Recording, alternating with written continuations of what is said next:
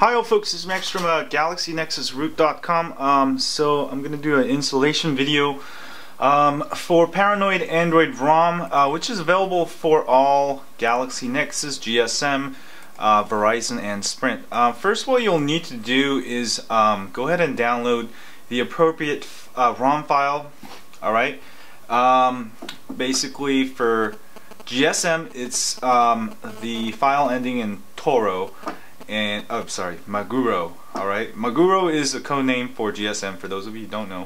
And for uh, for Verizon CDMA is uh, the file ending in Toro Plus. I'll have the links but um, I just want to explain what these things mean. Toro Plus um, means um, Sprint Galaxy Nexus. These are all like sushi names um, if you've noticed. Anyway and uh, for for Sprint, um, I just did. Uh, sorry. For Verizon is Toro, and uh, for Sprint is Toro Plus. So go ahead and uh, download the appropriate ROM files, and also there's a um, fix file. It works on all the all the phones. Um, that's the same, and also G apps, um, Google Apps. If you don't flash that, you won't have um, Google Apps. A lot of people ask me why I don't have a, a Play Store and uh, they didn't flash the Google Apps. But I'll walk you through since um, rather than answering all those questions, I can just point to this video. Um, so you, you've uh, downloaded the three files and copied it over, ROM file, the fix, and the G apps. All right, and once you uh, you're done, um, we'll reboot into recovery. Um, you can uh, use the menu if you have a custom ROM, or what you can do is um, take the battery out, hold down volume up and volume down and the power button. I'll show you the manual just in case for those of you who are on stock ROMs.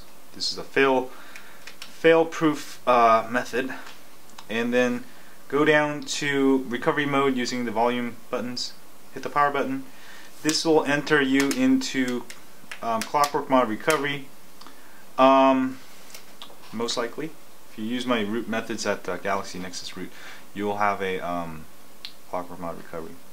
And here we're simply going to do a wipe and install it.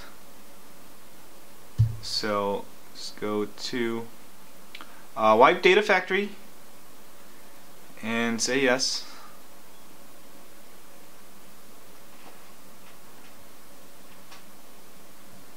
And this should take like five seconds.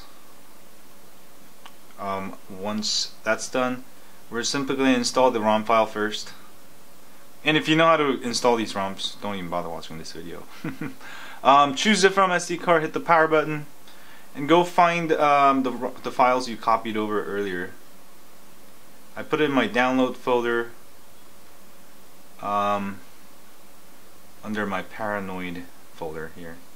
That's where my three files are there. So I've got the GSM, so I've copied the Maguro version and install this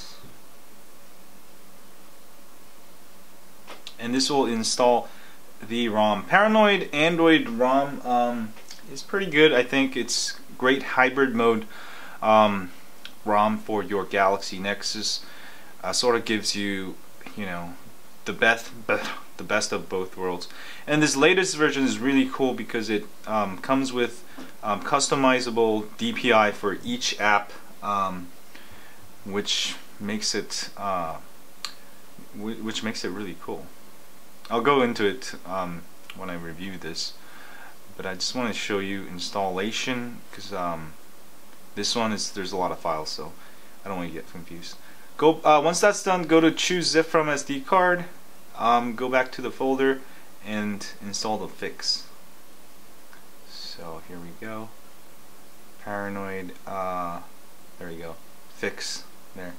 The one ends in fix 2.